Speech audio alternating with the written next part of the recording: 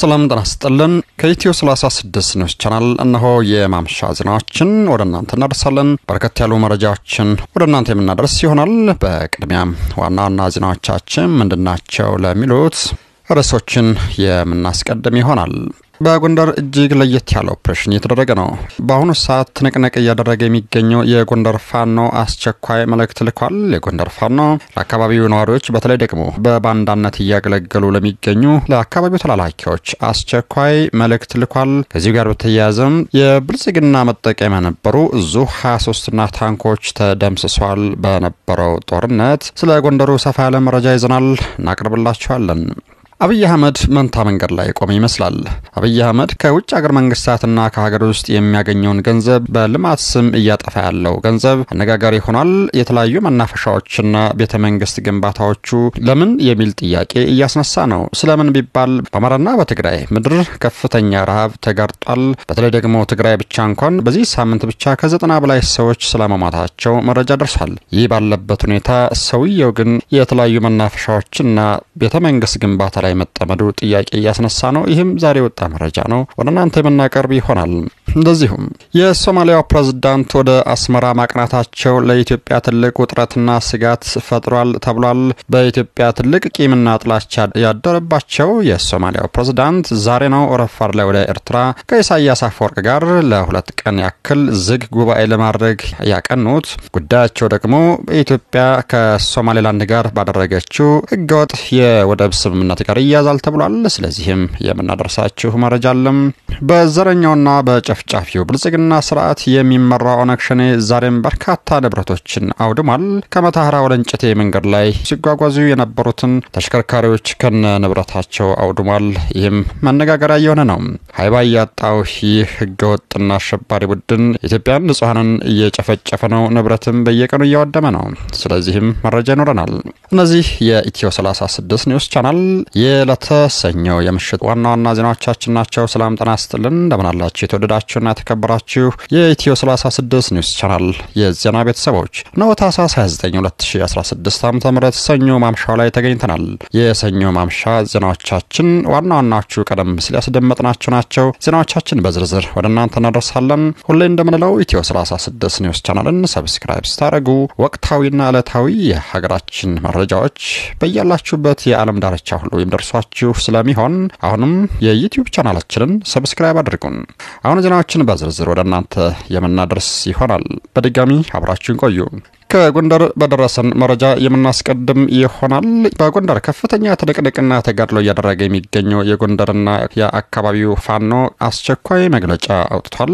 መልእክትም ይድረስ ብሏል። እንደሚታወቀው የጎንደር ፋኖ ከሰሞኑ ከፍተኛ ጦርነት እያደረገ ይገኛል። ሰሞኑ የአማራ ፋኖ በጎንደር የጨለማና የፀሐይ ጦርነት እየተደረገ ነው። በዚህም ፋኖ በአስደናቂ የጦር ጥበብን በተካኑ ጀግኖቹ ብዙ ትልልቅ መሳሪያዎችን ሲማርኩ የጠላት ኃይል የብርሃኑ ጁላ ወታደር የሚጠቀምባቸውን ዙ 23ና ታንኮች መድፎ በአማራ የጦር ጠበብቶች ወራሪው የሚጠቀምባቸውን በማይጠገኑበትና በማይጠቀሙበት መልኩ አድርገው አውድመውታል። የጦር ጠበብቶቹ በሽምቅ በጉሬላ በደፈጣ በፊት ለፊት ጦርነት ነው የብልጽግናን ሰራዊት ሀይቀጡ ቅጣት እየቀጣው ይገኛል። በጎንደርና አካባቢው የተጀመረው ጦርነት አሁንም ዛሬም ይህ ዜና እየተጠናቀረ ባለበት ሰዓት በተለያዩ የጎንደር አካባቢዎች ጦርነት እየተደረገ ይገኛል። የአማራ ፋኖ የአብይ አህመድን ምርኮኛ ጦር በሁሉም አውደ ውጊያዎች እየደመሰሰ ነው። በተለይ በዛሬው ዕለት በጎንደር የምርኮኛው ብርሃኑ ጁላ ሰራዊትና ከባድ መሳሪያ ወድሟል። ዛሬ ታህሳስ 29 ለዕለተ ሰኞ በወጣው መረጃ መሰረት በጎንደር እየተካሄደ የሚገኘው ውጊያ 30 ሰዓት የሆነው ሲሆን በአሁኑ ሰዓት 95 percent የጎንደር ከተማ በፋኖ እጅ ገብታለች።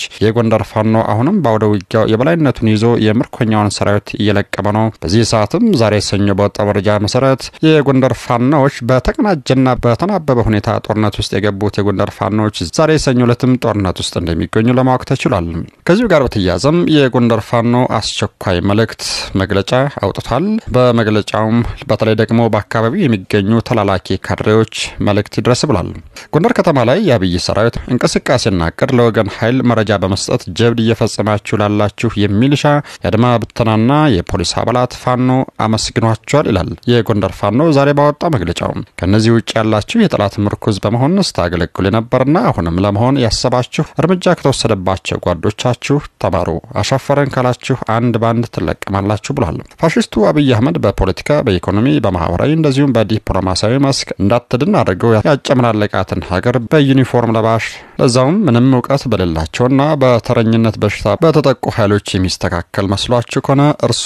ልዩነቱ የሱፍና የወታደራዊ ዩኒፎርም ነው። እኒህ ዩኒፎርም ለባሽ ጨካኝ ካድሬዎች የክልል መሪ ሆነው የፓርቲ ስራ ሰርተው የሚሊሻ፣ የፖሊስ፣ የደንብ አስከባሪ ስራ ሰርተው የሃይማኖት ጉባኤ መርተው አነስተኛና ጥቃቅን ኃላፊ ሆነው የገቢ ኃላፊ ሆነው ለህዝባቸው የሚያደርጉት አንዳች ነገር የለም። ይህ ሁሉ ዩኒፎርም ለባሽ ለሀገር ቢሆን ኖሮ ፖለቲከኛው ያጨመላለቀውን መፈንቅለ መንግስት አድርጎ ለጊዜው በወታደራዊ አስተዳደር ስር አድርጎ ህዝብ ለሚመርጠው ሲቪል አስተዳደር አስረክበው ወደ መደበኛ የግዛት አንድነት ጥበቃ ይሄድ ነበር። በተለያየ ጊዜ መፈንቅለ መንግስት ተካሂዷል ይባላል። መፈንቅለ መንግስት ለማድረግ ግን ካሁን በላይ ምቹና በቂ አስቻይ ሁኔታ የለም። ስለዚህ በየአካባቢው በተለይ ደግሞ በጎንደር አካባቢ የምትገኝ ተላላኪ ካድሬና ባንዳ ሚኒሻም ከአማራ ህዝባዊ ኃይል ፋኖ ጋር በመቆም በአሁኑ ሰዓት በጎንደርና በአካባቢው የተጀመረውን ጦርነት በድል ምዕራፍ እንዘጋው ዘንድ ከወገንህ ክተት ከአማራ ህዝባዊ ጎን በመሆን ብልጽግናን ተዋጋ የሚል መልእክት በዛሬው ዕለት በጎንደርና አካባቢው የሚገኘው ፋኖ አስቸኳይ መልእክቱን ልኳል። ወደ ሌላኛው መረጃችን ስናልፍ የኢትዮጵያ ጠቅላይ ሚኒስትር አብይ አህመድ አሁን መንታ መንገድ ላይ የቆመ ይመስላል።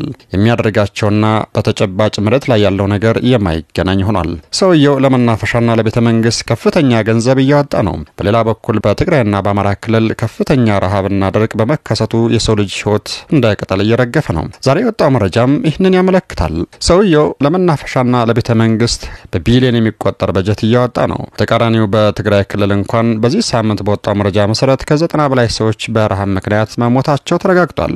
ነገሩ ግራ አጋቢና ሰውየው ምን እያደረገ ነው የሚል ጥያቄ እያስነሳ ነው። ከውጭ ሀገርና ከውስጥ በተሰበሰበ የሀገሪቱ ሀብት በጠቅላይ ሚኒስትሩ አነሳሽነት እየተገነቡ ያሉ የመናፈሻዎችና የቤተ መንግስት ግንባታዎች በቀጥታ ከመንግስት ካዝና በቢሊዮኖች የሚቆጠር ገንዘብ ወጪ ተደርጎ የሚካሄዱ የመንግስት መስሪያ ቤቶች እድሳት አነጋጋሪነታቸው ዛሬ እንደቀጠለ ነው። ጠቅላይ ሚኒስትር አብይ አህመድ ወደ ስልጣን ከመጣበት ጊዜ ጀምሮ በጎ የሚመስሉ ነገሮችን የጀመረ ቢሆንም ትንሽ ቆይቶ ግን ህዝብ የሚጠላውና ከህዝብ ተቃራኒ የሆኑ ነገሮችን መስራት ነው የጀመረው። ብዙዎቹ የማይስማሙባቸውን ተግባሮች እየፈጸመ ይገኛል። አነጋጋሪነታቸው ከቀጠሉ ጉዳዮች ቅንጡ የሆኑ የጠቅላይ ሚኒስትሩ ፕሮጀክት ይገኝበታል። ከውጭና ከሀገር ውስጥ በተሰበሰበ የሀገሪቱ ሀብት በጠቅላይ ሚኒስትሩ አነሳሽነት እየተገነባ ያለው የመናፈሻና የቤተ መንግስት ግንባታ በቀጥታ ከመንግስት ካዝና በቢሊዮኖች የሚቆጠር ገንዘብ ወጪ ተደርጎ የሚካሄዱ የመንግስት መስሪያ ቤቶች እድሳት አሁንም አነጋጋሪነታቸው እንደቀጠለ ነው። ሰውየው ሀገር የሚያለማው ለማን ነው የሚያስብል ነው። በዚህ በኩል ህዝብ እንደ ቅጠል እየረገፈ በጦርነትና በረሃብ ህዝብ እያለቀ እየተባረረ እየተሰደደ እየታፈነ ሰውየው ቤተ መንግስትና መናፈሻ እንደዚሁም መስሪያ ቤቶችን የሚያድሰው ለማን ነው ለምን ነው የሚል ጥያቄ ዛሬ የወጣው ዓለም አቀፍ መረጃ ያስረዳል። ዓለም አቀፍ የረድኤት ድርጅቶች በተገባደደው የጎርጎሮሲያኑ 2023 ዓ ም በኢትዮጵያ በእርስ በርስ ጦርነቶችና ግጭቶች እንደዚሁም በድርቅ ምክንያት የምግብ እርዳታ የሚጠብቁ ወደ 23 ሚሊዮን የሚጠጉ ወገኖች እንዳሉ ይናገራል። አዲስ አበባን ጨምሮ በተለያዩ ከተሞች ወጥቶ መግባት አስቸጋሪ የሆነበት ጊዜ መድረሱ ነዋሪዎቹ በምሬት ይገልጻሉ። የኑሮ ውድነቱ፣ የሰላም ሁኔታና ሌሎች ኢኮኖሚያዊና ፖለቲካዊ ችግሮችን በማንሳት ከዚህ ቅንጡ ፕሮጀክት ቅድሚያ የሚሰጣቸው አይደሉም በማለት ብዙዎቹ ይወቅሳሉ። ጠቅላይ ሚኒስትሩ ግን ይህን አይቀበልም። ይህን አይቀበልም ብቻም ሳይሆን የሀገሪቱ ከፍተኛ የስልጣን አካል የሆነው ተወካዮች ምክር ቤት ስለ በጀት ምንጭና አስተዳደሩ ሲጠይቀው እንኳን ባለው የልመና ጸጋ ተጠቅሞ ያመጣውን ገንዘብ ምክር ቤቱ ሊቆጣጠረው እንደማይችል ነበር የገለጸው። እነዚህ አነጋጋሪ ፕሮጀክቶች አገሪቱ ካላት ኢኮኖሚያዊ ችግር አንጻር ቅድሚያ የሚሰጣቸው ናቸው ወይ በሚል በአሁኑ ሰዓት በተለይ ህዝቡ እየተነጋገርና መላ ኢትዮጵያ ህዝብ ግራ እየተጋባ ይገኛል።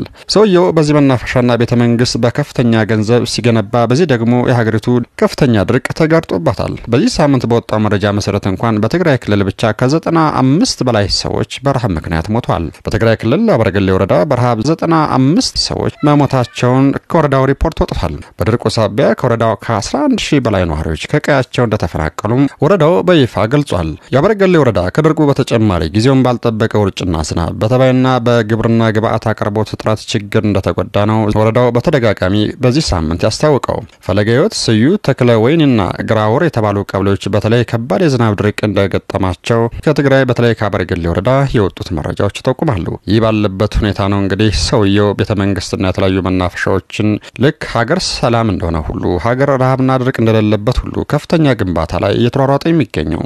ወደ ሌላኛው መረጃችን ስናልፍ የሶማሊያው ፕሬዝዳንት ዛሬ እኩለ ቀን ላይ ወደ አስመራ ማቅናታቸው በኢትዮጵያ መንግስት ላይ ከፍተኛ ስጋትና ሽብር ፈጥሯል ነው የተባለው። የሶማሊያው ፕሬዝዳንት ሐሰን ሼክ መሐመድ ለሁለት ቀናት ጉብኝት ዛሬ አስመራ ገብቷል። ይህ ደግሞ ለአብይ አህመድ አስተዳደር ጭንቀት ለቋል የተባለው ፕሬዝዳንት ሐሰን ሼክ መሐመድ በአስመራ ዓለም አቀፍ አውሮፕላን ማረፊያ ሲደርሱ ፕሬዝዳንት ኢሳያስ አፈወርቂና ከፍተኛ የመንግስት ባለስልጣናት አቀባበል አድርገዋል። ሁለቱ ሀገራት በቀጠናውና በሀገሪቱ ወቅታዊ በጋራ ጉዳዮች ላይ ይመክራሉ ተብሎ እንደሚጠበቅ ከኤርትራ የማስታወቂያ ሚኒስትር የተገኘው መረጃ ያመላክታል።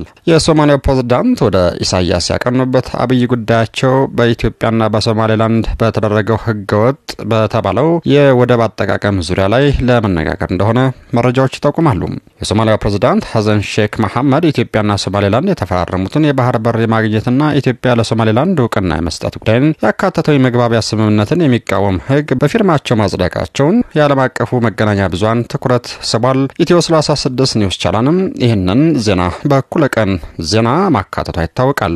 ስለሆነም የሶማሊያ ፕሬዝዳንት ወደ አስመራ ማቅናታቸው ምናልባትም ለኢትዮጵያና ለሶማሌላንድ ከባድ ስጋት ይዞት የሚመጣው ነገር መጥፎ ነው እያሉ ነው የፖለቲካ ተንታኞች ዛሬ ባወጡት መረጃ መሰረት። በብልጽግና ስርዓት በተለይ ደግሞ በአብይ አህመድና በሽመልስ አብዲሳ እየታገዙ የሚገኙት ኦነግ ሸኔዎች ዛሬም ንብረት እያወደሙ ነው። አሁንም የንጹሐንን ህይወት እየቀጠፉ ነው፣ እያፈኑ ነው። ዛሬ ለኢትዮ 36 News Channel በደረሰው መረጃ መሰረት ከመተሐራ ወደ እንጭቴ መንገድ መተሐራ መዳረሻ አካባቢ ኦነግ ያለ ከልካይ ሹፌሮችን አሳደው በመያዝ ንብረታቸውንም አውድሟል። የፈለጉትንም ከመኪና ላይ ያለውን ንብረት ወስዷል።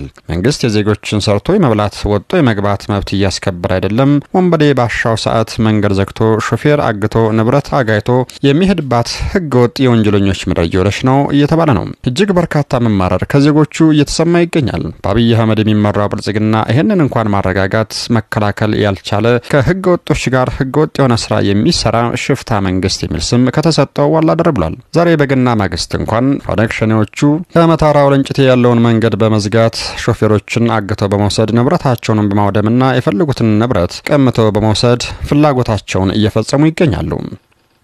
የተወደዳችሁና የተከበራችሁ የኢትዮ 36 News Channel የዜና ቤተሰቦቻችን ሆለ ታህሳስ 29 2016 ዓ ም ለዕለተ ሰኞ ማምሻ የያዝንላችሁ አበይት ዜናዎቻችን እነዚህን ይመስሉ ነበረ። ከዜናዎቻችን ጋር ቆይታ ስላደረጋችሁ እናመሰግናለን። ኢትዮ 36 News Channel ን subscribe አድርጉ። ዕለታዊ መረጃዎችን ታገኛላችሁ። በነገው የዜና ሽፋን እስከምንገናኝ በሰላም ቆዩን።